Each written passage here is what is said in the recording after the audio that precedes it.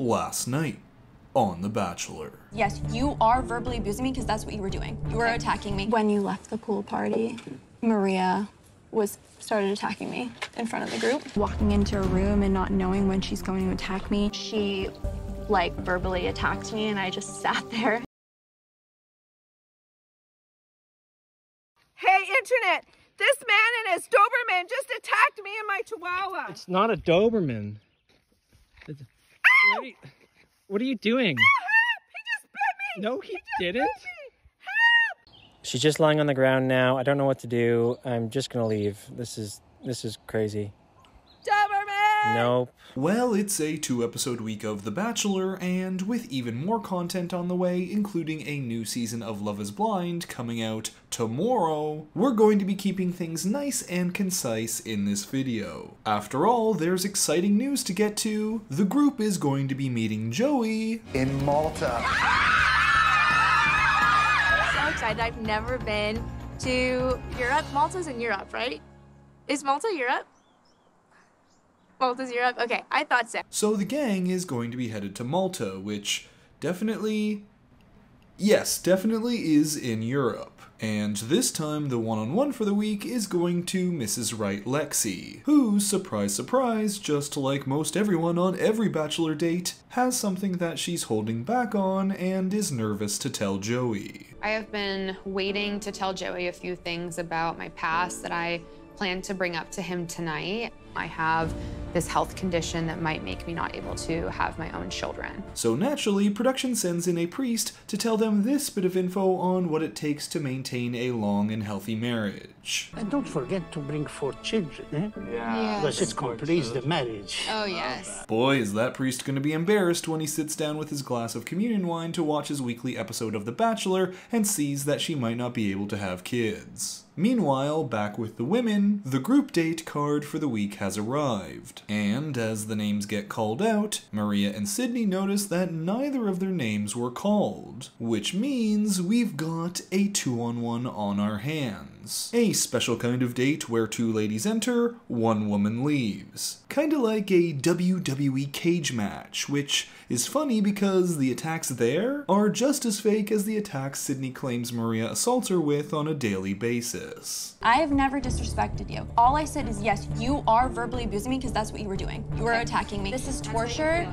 and I have been literally put through the ringer enough. But back on the date, Joey's rocking the Bachelor classic salmon jacket, and Lexi opens up about her illness. Essentially, after going under surgery, she was diagnosed with stage 5 endometriosis, a reproductive issue where tissue that is supposed to grow on your uterus ends up growing on other organs. Now, the doctors were able to remove everything, but this also means she might not be able to have kids. I've only opened up about it to one person, who is my ex, and um, he ultimately came to the decision that he can't be with someone that might not be able to have his children. Joey, however, reassures her that hearing this does not make him want to run away, and that there are other ways to make a family, such as adoption. Plus, you never know with these things. It's possible anyone could be infertile and you only realize it when you're already married and trying. Ultimately, Lexi gets a rose, and we can now move on to the group date for the week at a very famous location. Doing this today where Ned Stark was beheaded is something that's crazy, but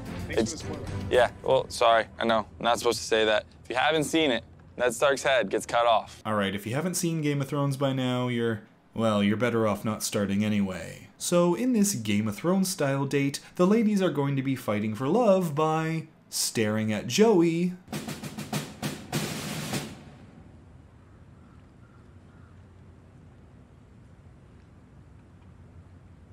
Okay. And then they have to confront the sausage wheel, which was definitely one of my favorite parts of Game of Thrones. Juicy sausages smacking your face right now.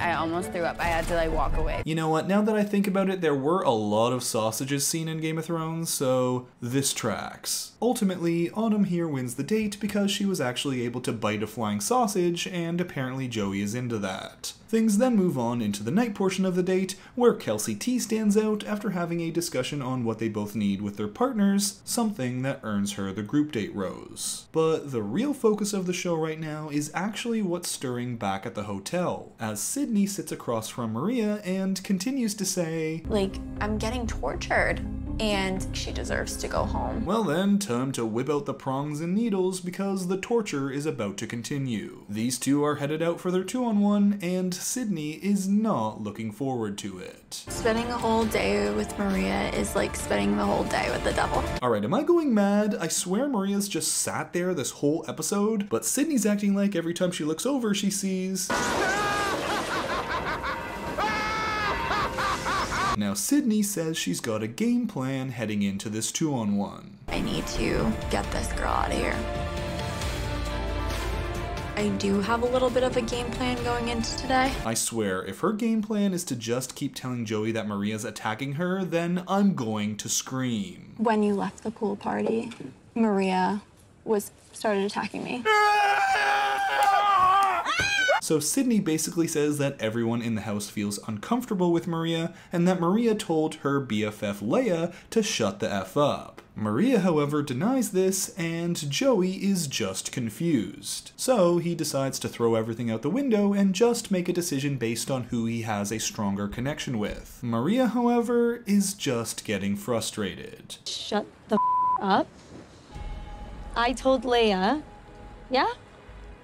You know we're on camera the Yeah. entire time, right? Now, as things get to the night portion of this date, Joey's throwing his hands in the air. He knows he'll never truly get to the bottom of this, so he's just following his heart. And so he asks each lady if there's a potential future with him after all this drama, and when both say yes, he pulls out the rose. And Sydney,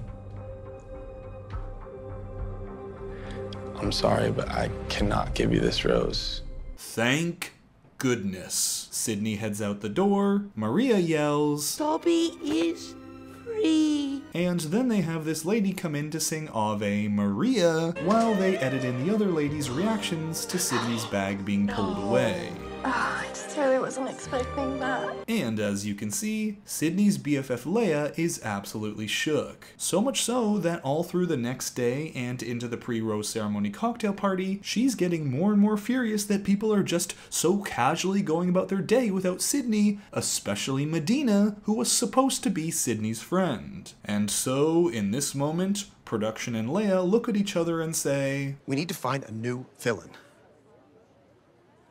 I have an idea. It's frustrating that one second she's, you know, Team Sid, and the second Maria walks in, she's voicing how she's so happy for her. They're all like being nice to Maria. Maybe that's because not everyone hates Maria like you think they do. So Lea decides that she needs to pull Madina and tell her that it's weird that she's being so kind to Maria when she was supposedly friends with Sydney. Maria knows that Sydney and I are close.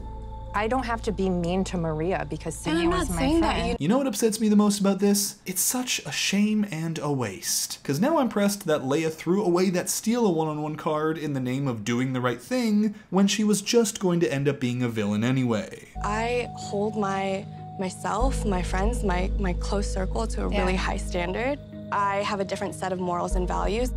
Yeah, and apparently those values are being mean to people where Madina actually worked past her differences with Maria. Ay, I am so done with this. And well, the villain crown has officially been passed on, because instead of doing what she did night one and throwing the drama in the fire, Lea has embraced it. Do you want to step out for a second? I'm gonna come with you. Maria storms off in tears, and I'm honestly like, I'm glad that that's the case. Yeah, she's just, I don't know. Honestly, like, she's a drama queen crybaby. And so, this episode ends on Lea not learning anything from what Sydney did as she goes with Joey to tell on Maria, probably by saying, Maria was started attacking me. So that's it for this recap of The Bachelor Week 4. Thanks for watching, and if you enjoyed the video, make sure to give it a like, Comment your thoughts down below and subscribe to the channel for more content. And until next time, Bachelor Fan Take out. She's just lying on the ground now. I don't know what to do. I'm just gonna leave. This is this is crazy. Doberman! Nope.